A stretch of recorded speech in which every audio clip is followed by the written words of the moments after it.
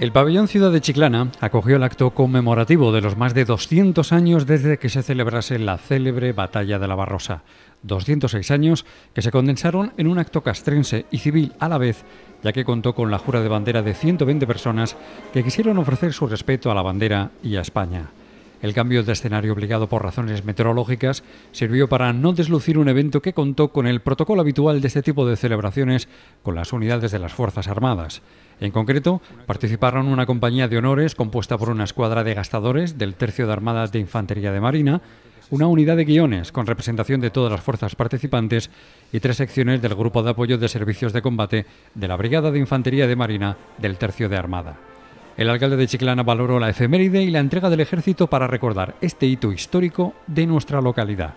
Hoy se trata de dignificar a los que nos precedieron en tiempos de sombra, que como bien dice el himno de Chiclana, lucharon con esfuerzo sin igual y al empuje de sus brazos. Solo la fortaleza de nuestras convicciones y el cumplir con la exigencia que nos imponen los tiempos, habremos conseguido perpetuar su memoria. Por su parte, el general de división, comandante general de la Infantería de Marina, Jesús Manuel Vicente Fernández, se encargó de dar el realce militar a la fecha y al acto que se celebró.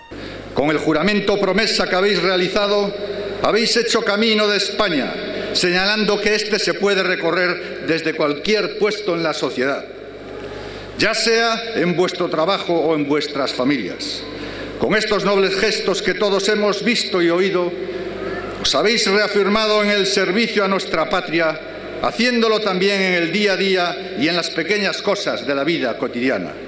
Uno de los momentos más emotivos fue el homenaje a los caídos en la batalla de Chiclana con la colocación de una corona de laureles en su memoria. El numeroso público allí congregado en las gradas de este edificio deportivo participó en todo momento en el acto y mostró un respetuoso silencio en cada uno de los momentos de la celebración.